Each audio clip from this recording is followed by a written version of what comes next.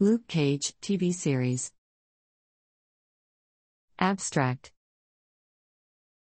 Marvel's Luke Cage is an American television series created by Cheo Hodari Coker for the streaming service Netflix, based on the Marvel Comics character of the same name. It is set in the Marvel Cinematic Universe, MCU, acknowledging the continuity of the franchise's films, and was the third Marvel Netflix series leading to the crossover miniseries The Defenders. The series was produced by Marvel Television in association with ABC Studios, with Coker serving as showrunner. Mike Colter stars as Luke Cage, a former convict with superhuman strength and unbreakable skin who now fights crime and corruption.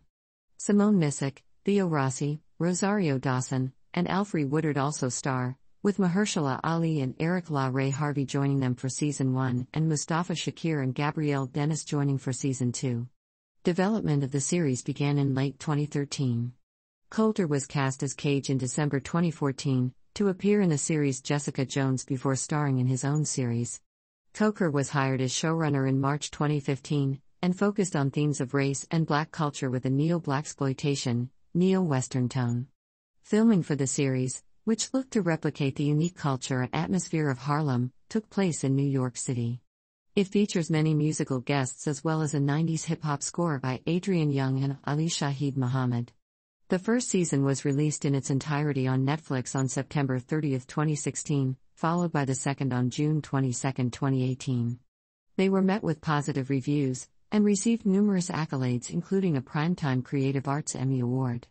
Following creative differences during the development of a third season, Netflix canceled Luke Cage on October 19, 2018. All of the Marvel Netflix series were removed from Netflix on March 1, 2022, after Disney regained the license for them. They began streaming on Disney Plus from March 16. This project compresses information gathered from Wikipedia in video format. Why should I watch it?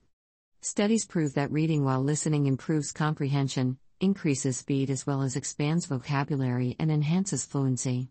Provide your feedback on the comments section. Support the channel by subscribing and liking the video, thanks.